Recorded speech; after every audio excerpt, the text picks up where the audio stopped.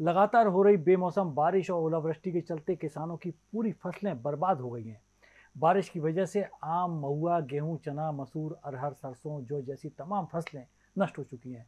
ऐसे में जहाँ किसानों को तत्काल राहत मिलना चाहिए, वहीं प्रशासन अभी तक सर्वे के काम में ही उलझा हुआ है। सिंगरौली में बेमौसम, बारिश और ओलावृष्टि की वजह से बड़ी मात्रा में फ़सल खराब हो गई है।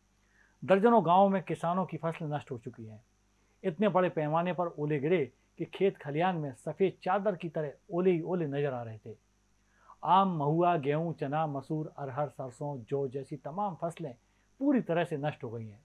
हम सभी जानते हैं कि ग्रामीण क्षेत्रों के लोग ज़्यादातर कृषि पर ही आश्रित रहते हैं। इनका वर्ष भर का खर्चा सिर्फ़ खेती किसानी से ही चलता है।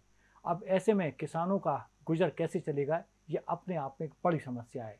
ऐसे में किसानों को तत्काल राहत की ज़रूरत है। और प्रशासन अभी ओलावृष्टि के नुकसान के सर्वे में व्यस्त है। अब देखना यह होगा कि कब तक शासन प्रशासन किसानों को राहत दे पाएगा। इसमें बहुत ज़्यादा नुकसान हुआ है।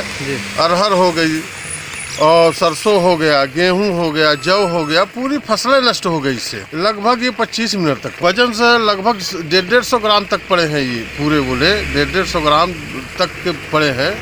और ये तीन साइज़ में पड़े रोमनिया है बगैया है पोड़ी है इतने तक की खबर अभी मिल रही है। अभी तुरंत तो हो ही रहा दस मिनट पहले तो गिरा ही है। शासन से यही चाहते हैं कि कम से कम किसानों के लिए कुछ सोचे। बस हो गया आप क्या कहेंगे उनके लिए? यार Ajay look at your dad हम इस उम्र में ऐसे रहेंगे क्या? बिल्कुल रहेंगे।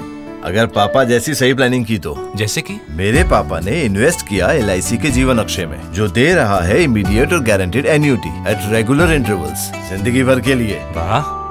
पर हमें तो इस एज तक वेट करना पड़ेगा ना। बिल्कुल नहीं।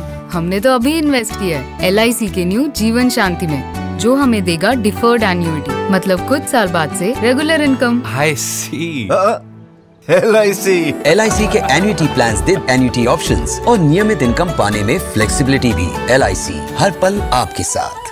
वो खबरें जो आपके काम की है।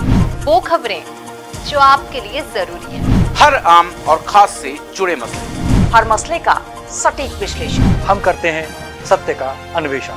दखल न्यूज़। आपके हक में। आप देख रहे हैं दखल न्यूज़।